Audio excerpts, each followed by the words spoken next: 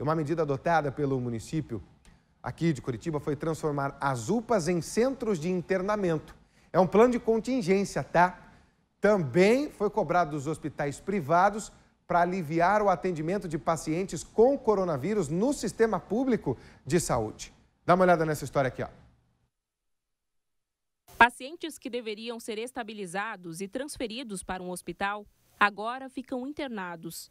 A transformação de unidades de pronto atendimento em centros de internamento faz parte do plano de contingência da pandemia em Curitiba. Duas UPAs funcionam como hospitais e outras sete em modelo híbrido, a exemplo da UPA do Boa Vista. Aqui são recebidos tanto urgências e emergências de outras doenças, como pacientes da Covid-19 que necessitam de internamento. A estratégia, segundo a Secretaria Municipal de Saúde, deve evitar a necessidade de abertura de um hospital de campanha. As nossas UPAs são infinitamente melhores do que abrir uma barraca num campo de futebol. Eu não consigo atender paciente e não vou ter a medicação e o suporte que eu preciso. Nós fizemos uma opção que nós temos estrutura. O hospital de campanha faz quem não tem estrutura. O plano também inclui a transformação de 42 das 111 unidades básicas de saúde em mini-UPAs para atendimentos de casos leves e moderados. Outras 10 atendem exclusivamente crianças e gestantes. Com essas mudanças, Curitiba espera minimizar a demanda por leitos exclusivos para a Covid-19.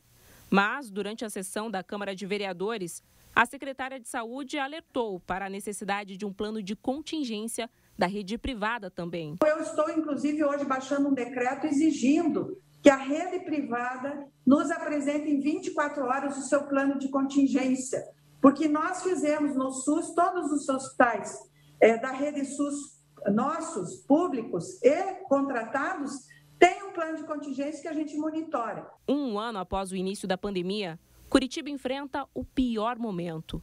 Pouco depois da publicação do decreto que manteve a bandeira laranja, um vídeo enviado à nossa equipe mostra a fila de ambulâncias em frente ao Hospital do Trabalhador.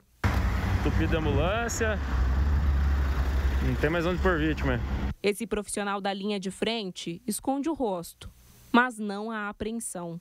Há duas, três semanas, o aumento de, da demanda de pacientes né, é, com problemas respiratórios. Não existe mais aquele grupo de risco.